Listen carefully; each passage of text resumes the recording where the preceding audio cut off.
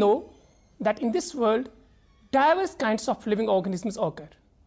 Since the last two to three centuries, scientists have tried to arrange this huge diversity of life under some formal classification systems. The scientific field of study that deals with the classification of biodiversity is known as taxonomy. Historically, the plant taxonomists have classified the diverse kinds of plants under different taxonomic categories, the most common being the family. At present, more than 500 families are recognized in plants all over the world.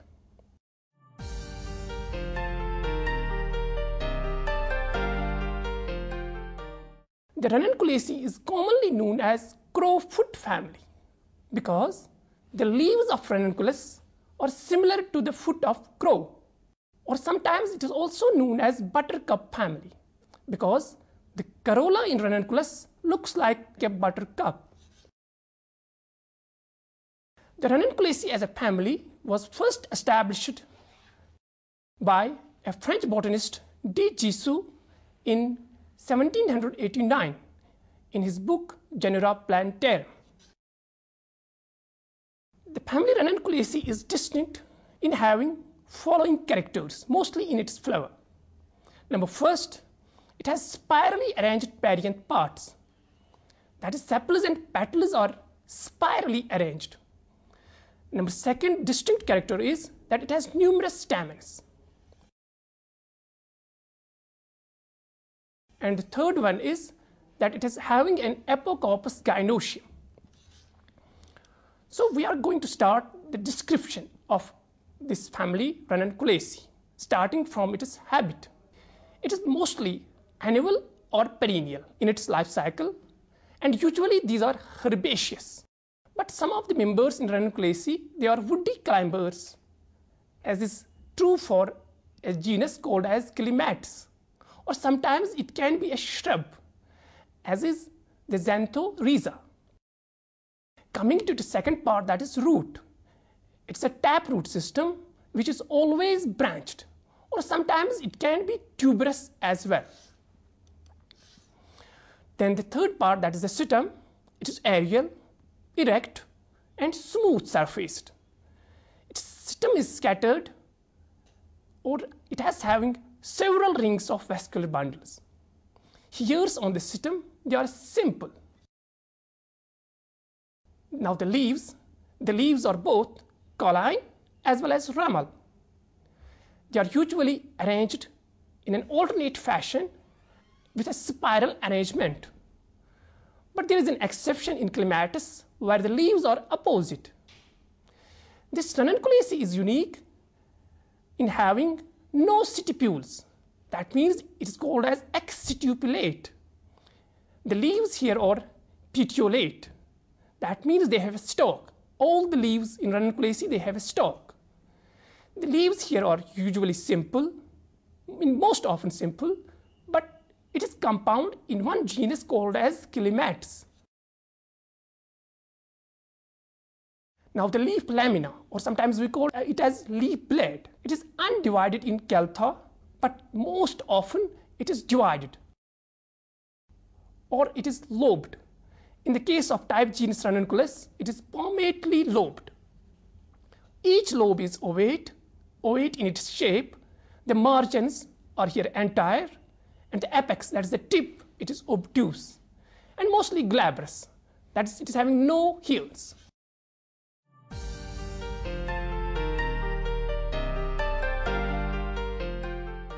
Inflorescence is basically an aggregation of flowers. Usually we have here a dichasial cyme, but in some cases it is solitary also, as is true for anemone. Or it can be raceme also in case of delphinium. Now coming to the actual flower, individual flower. Flowers here are bracteate, bracteolate and pedicellate. Pedicellate means that all the flowers they have a stalk. The flowers here are mostly bisexual. That means both male and female parts are born on the same flower. But there is an exception in case of Thalictrum where it is unisexual. That means you have separate male and female flowers. Usually the flower here is actinomorphic. That means at whatever plant you try to cut it, it separates into two equal halves. But here again, here is an exception in case of delphinium where it is zygomorphic. The flower here is pentamerous. That means all the flower parts, they are in 5 or multiples of 5. The flower here is also hypogynous. That means the ovary here is superior. Now, coming to the individual flower parts, starting from the outer whorl, what we call as calyx. Calyx is comprised of the sepals here. The sepals are five, five in number. They are polysepalous, that means free, they are not fused. They are slightly petaloid, that means their color is more like a petal. Sometimes these sepals, they are modified into a sepal at base. At the base of each petal sepal, it is, there is a modification what we call a sepal. This sepal is one in number in delphinium, but all the sepals in Aquilegia, they are support. That means 5 in case of Aquilegia. Now coming to the second part, that is corolla. Corolla we know is comprised of the petals colored organelles. Petals here are again 5. As I mentioned that flowers here are pentamerous, petals are 5. There is one exception that is helleborus where it is they are indefinite. Many petals are present. Again, as was the case in case of sepals, it was polysepalous. Here again, it is polypetalous. All the petals, they are free. They are not fused to each other. One important feature about ranunculaceae is that here the nectaries, they are at the base of petals. These petals are just like staminode-like petals. Now coming to the reproductive part, starting with androecium. Androecium is the male part in the flower. It is comprised of the stamens. Stamens are here indefinite. That means numerous in number. They are apostemonous, polyandrous, again free, poly means free, spirally arranged. Spiral arrangement, as I mentioned at the outset that they have a spiral arrangement of their flower parts. This is very unique to the ranunculaceae. The stamens, androecium, it is also comprised of stamens, then you have filaments. Filaments here are too long. Anthers here at the top of the stamens, they are diathecous, extrorse, and the dehiscence here is longitudinal. Coming to the female part of the flower, that is gynoecium, it is polycarpellary. That means free carpels here. Apocarpous, and at the base of the gynoecium, you have the ovary that is superior. It is unilocular, and its style is just one. And stigma is simple one, and one in number. Coming to its placentation, it is mostly basal, or it can be marginal sometimes, or rarely it can be axile. Axile is uh, placentation in case of ranunculaceae in the genus what we call as Nigella. Coming to the actual part, uh, ultimately the fruit. Fruit usually here it is achene, as is the case in the type genus that is Ranunculus. In some cases, it is also ha having a follicle type of fruit, as we have in case of delphinium.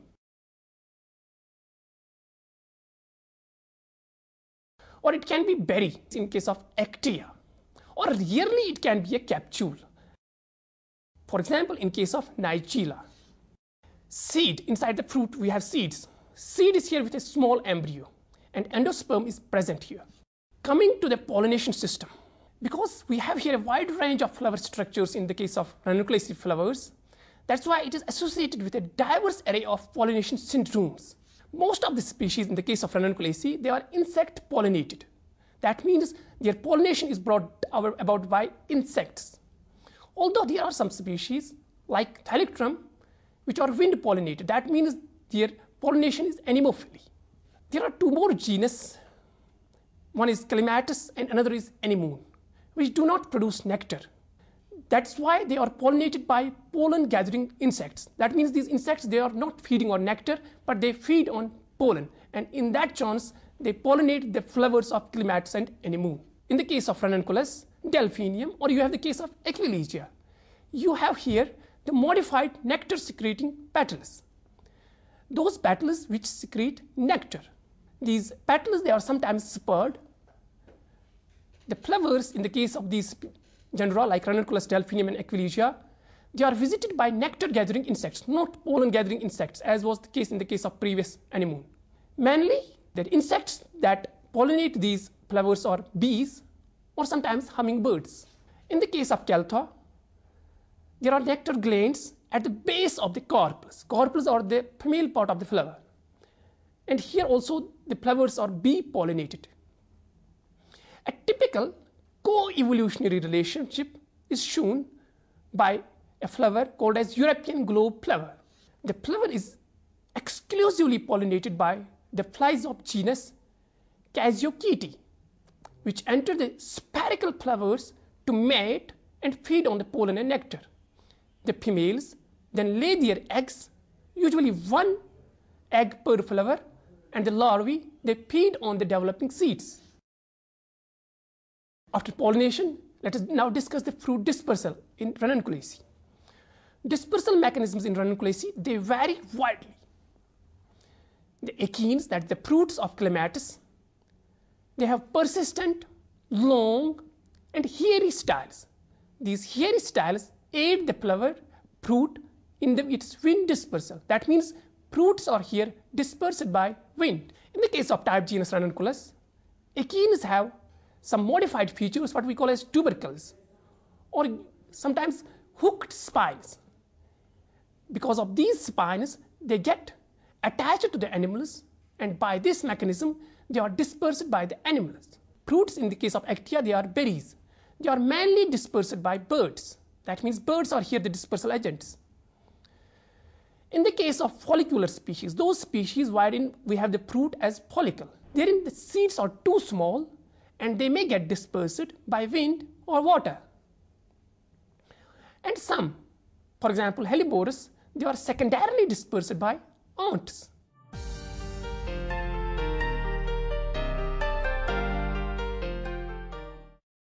Various authors, taxonomists have classified Ranunculaceae under different schemes of classification. Let us have a discussion on few of these classification systems. Now first, starting with Bentham and Hooker, the two British botanists, they classified Ranunculaceae under the class Dicotyledons, subclass Polypetalae, series Thalamiflorae, and the order Ranales. Now, the classification of Arthur Cronquist, who was an American taxonomist working at the New York Botanical Garden, he classified Ranunculaceae under the division Magnoliophyta, class Magnoliopsida, subclass Magnoliidae, and the order Ranunculales. Armen Takhtajan, famous Russian taxonomist, classified it under the division again Magnoliophyta, class Magnoliopsida, subclass Ranunculidae, superorder Ranunculini, order Ranunculales. Dahlgren, a Danish botanist, classified it under the class Magnoliopsida, subclass Magnoliidae, superorder Ranunculini, and the order Ranunculales. Robert Thorne, an American taxonomist, again classified it under the class Angiosperm, subclass Ranunculidae, superorder Ranunculini, order Ranunculales. Lastly, and more recently, the Angiosperm phylogeny group third, which is basically a collaborative group of taxonomists, which is being led by Peter Stevens of Missouri Botanical Garden. They classify it under a class what we call as eudicots, true dicots. And then they recognize he, here a superorder Ranunculini under the order Ranunculales.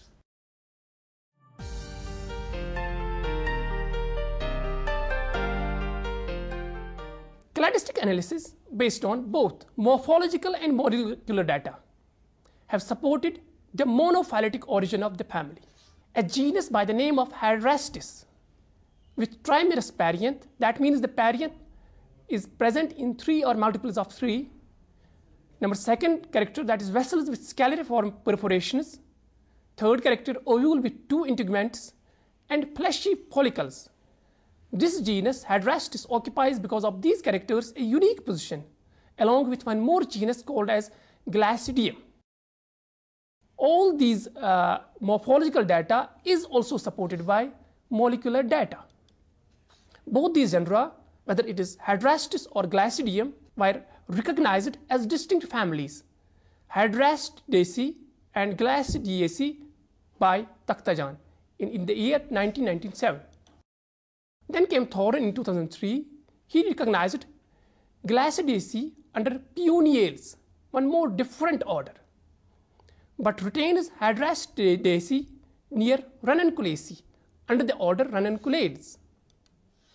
However, more recent studies based on chloroplast DNA, they suggest that these two genera, Hydrastis and Glaucidium, they be placed under a subfamily under the family Ranunculaceae Thalictroideae because they believe that it forms a basal paraphyletic group and therefore justifies their retention within the family Ranunculaceae.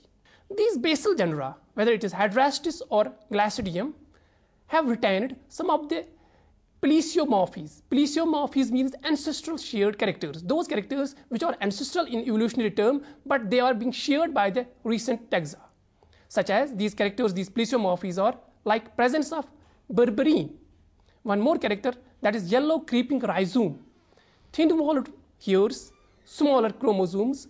Thus, all these characters, they relate them to the Berberidaceae, one more different family.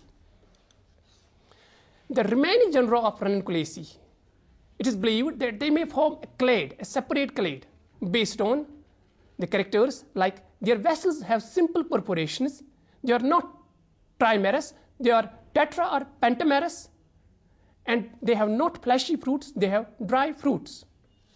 A large subclade by the name of Ranunculidae is supported by the synapomorphies of characters like longer stomata, larger chromosomes, chromosome number of 8 and nucleotide characters. Furthermore, the reduction in the number of ovules per carpel and the evolution of achenes have occurred several times within the family Ranunculaceae. Petaloid staminodes also have evolved more than once as suggested by their differing morphology. Woodiness in the Ranunculaceae family is believed to have evolved secondarily. The separation of follicle bearing genera, that means those genera which have their fruits as follicles, under the family Helleboraceae by the author Hutchinson is being rejected. Recently, it has been rejected by the evidence from floral anatomy and nucleotide sequence data. Thorne in 2003 divided the family into three subfamilies. Number first, Coptidoideae, number second, Isopyroideae, and Ranunculidae. Angiosperm phylogeny group in the year 2003 has recognized two more subfamilies. That means in addition to the previous three subfamilies, they have added two more subfamilies. These are Hydrastidoideae and Glaucidioideae. Thus, in all, they have recognized five subfamilies in the family Ranunculaceae. Coming to the fossil record, fossils of fruits, pollens, seeds, and leaves are known from several dozen locations. The fossil record begins in the early Cretaceous and it continues throughout the tertiary period. In most of the cases, the fossils are assigned to the presently existing genera, extant genera, and they show a close relationship to particular extant genus.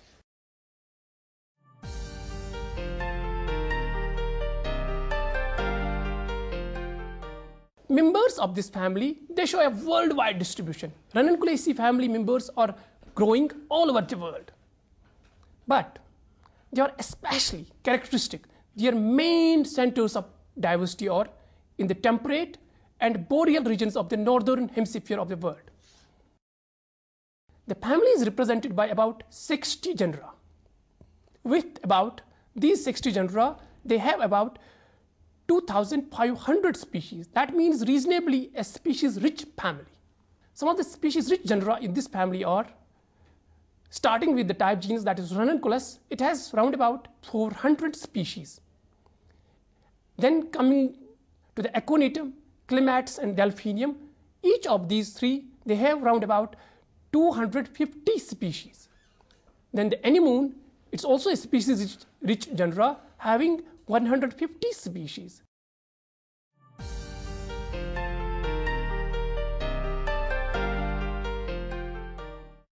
The members of the Ranunculaceae family, they are used widely, be that ornamentals, be that medicinal plants, or for vegetables. Many Ranunculaceae family genera, they are used as medicinal plants because of their alkaloids and glycosides. Some are also poisonous, highly poisonous plants. And many members of the Ranunculaceae, they are obnoxious weeds. We know some of the commonly grown ornamentals in this family are larkspur, scientifically known as delphinium, columbine, scientifically known as aquilegia, or the buttercup, common buttercup, what is scientifically known as ranunculus. Or we have the hellebore or helleborus.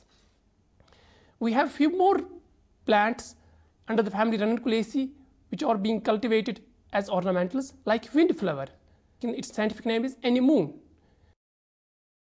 We have also baneberry with the scientific name Actaea.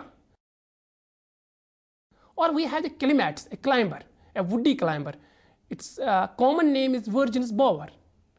Or we have a flower like called as globe flower. Its scientific name is Trollius. Or we have a beautiful flower of meadow rue, scientifically known as Thalictrum. Or medicinally important plant aconitum, it is also sometimes used as, as an ornamental, commonly known as monk's hood. As I mentioned that many of the species of aconitum, they are used as medicinal. One of the species by the name of aconitum napellus, it yields a phytochemical by the name of aconite. One more species of aconitum by the name of aconitum ferox is a source of big poison. These uh, ranunculaceae genera, they are used for many medicinal purposes like the roots of hydrastis, they are used for stomach ailments. One more uh, use of uh, ranunculaceae is that in the case of species Nigella sativa, its seeds are used as a spice. We commonly commercially know this spice as kalonji.